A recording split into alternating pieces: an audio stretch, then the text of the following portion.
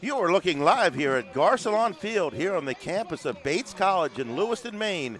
This afternoon, it's NESCAC football, the Bates Bobcats and the Middlebury Panthers. Seneca Moore in the game that time. Hands off to Linsky on the run pass option. Linsky breaks a tackle. This time Bosselait back to pass, and he's got a receiver open in the end zone. Was it a touchdown? And it is a touchdown. A nine yard pass.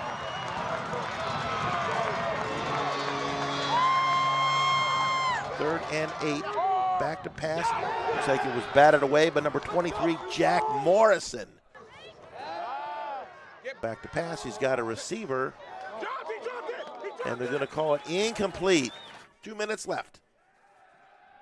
Bosselait back to pass. And he's looking for Beltran. He's got Beltran down to the 33 yard line. A diving catch. If they don't get the first down, not sure what Coach Coyne would do. And there's a pass in the end zone. He's got Beltran in the end zone for a Bobcat score. 75 yards on the drive. And the Bobcats take the lead again.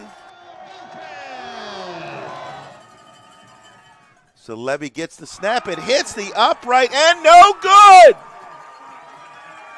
The Bobcats dodge a bullet. Levy missed a 21 yard chip shot. That's no more than an extra point. It banged off the right upright and fell short. And this time the handoff taken by Stockwell, and he stopped immediately.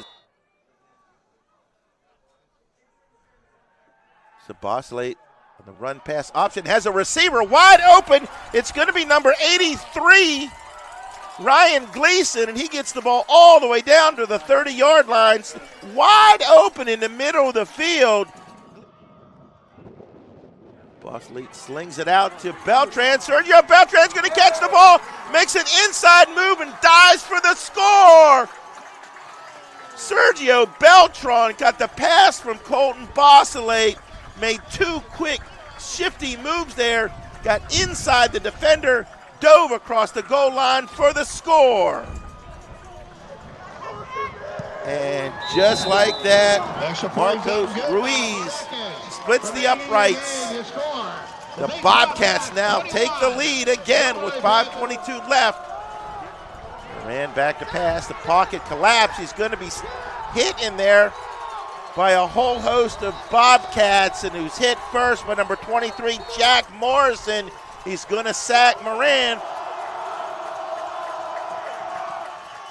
And Levy's kick is up, and it looks like it's going to be short.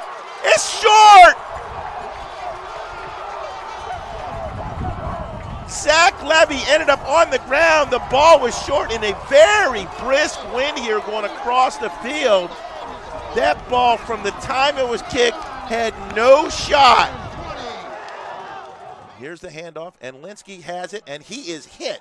And he's going to be, they're going to do the tush push, and I think he got it.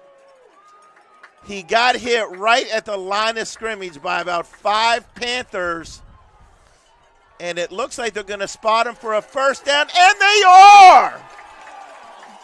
Ryan Linsky had the greatest one yard run in his two year short career here earlier in the season. The Bobcats knocked off Wesleyan, and today they knocked off Middlebury. That is the first Bates Bobcats win over the Middlebury Panthers since guess when? 1988.